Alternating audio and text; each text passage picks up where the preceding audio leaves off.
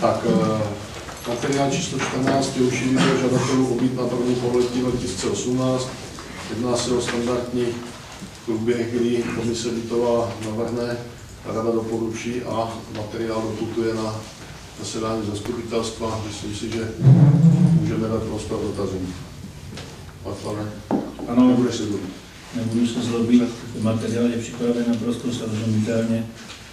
Takže díky tomu, že někdo neprojevuje dlouhodobě zájem o byt, anebo už byl uspokojen a byt má, tak eh, to jsou indicie, které slouží k tomu, aby se ten seznam eh, upravil. A komise navrhuje do zařazení zase na druhou stranu nových, kteří v mezidobí jaksi nám přibývají.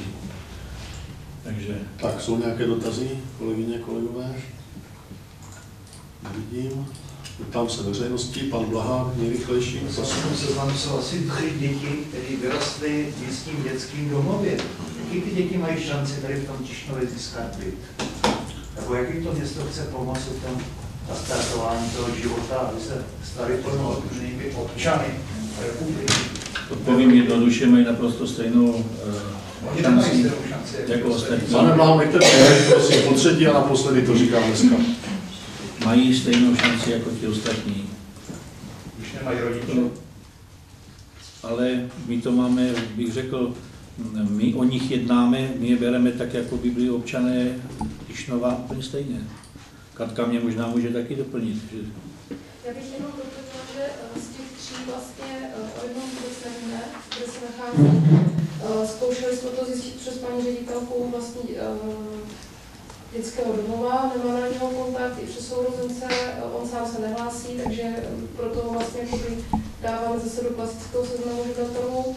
Eh, Potom eh, jedna žadatelka z dětského domova se nastěhovala vlastně zpět domů. Eh, Víceméně se o tu žádost taky nestará, na naše dotazy eh, nám neodpovídá, takže eh, jakoby, abych řekla pravdu, tak z tohoto důvodu nebereme moc potaz, protože si myslíme, že takhle to v pořádku, vlastně, jakože se vrátila eh, zpátky domů a bydlí nějak eh, s rodiči. Eh, i- vlastně s ohledem na to, že ona nějak nás ne.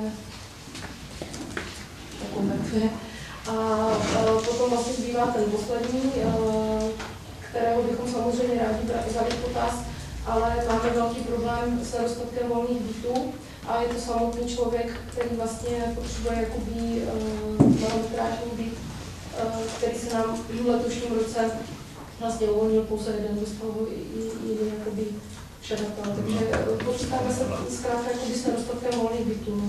Jinak e, si myslím, že pokud se vhodný byt uvolní, tak eh, zrovna eh, tenhle ten bude brzo na řadě. Děkuji za vysvětlení. Tam se jeli nějaký jiný dotaz? Martin Sebera, prosím. Dětský domov eh, sám realizuje něco, čemu říká startovací byty. Tady v Tišnově jsou dva, kde právě eh, děti, které mají 18 let a principiálně už nemůžou být součástí dětského domova, tak tam získávají eh, bydlení, je to taková un- unibuňka, ale platí si tam nájem, fungují tam, ale ma- mají to. Aktuálně na pozemku dětského domova jsou dva startovací byty, tak jenom ještě tahle informace. Díky za doplnění. Tak nevidím další dotaz, čili ukončuji rozpravu a schvalujeme návrh užšího výběru žadatelů o byt na první pololetí roku 2018. Kdo je prosím pro?